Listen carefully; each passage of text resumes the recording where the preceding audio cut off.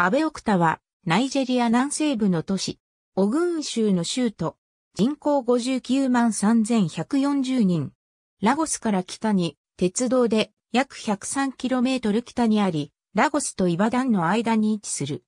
アベオクタとは、ヨルバ語で岩の下を意味するが、その名の通りオルモロックという巨大な岩の下に町が広がっている。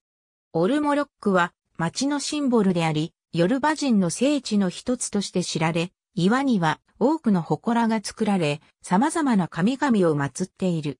アベオクタは1825年、ダホメ王国及びイバダン王国の奴隷狩りから逃れた人々が集まって建設された。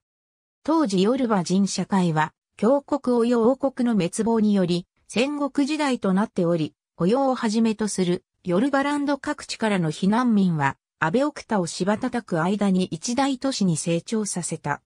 それ以前にも、オルモロックを崇めるヨルバ人の一グループエグバ人の村が存在したものの、これ以後は様々なヨルバ人が混在するようになった。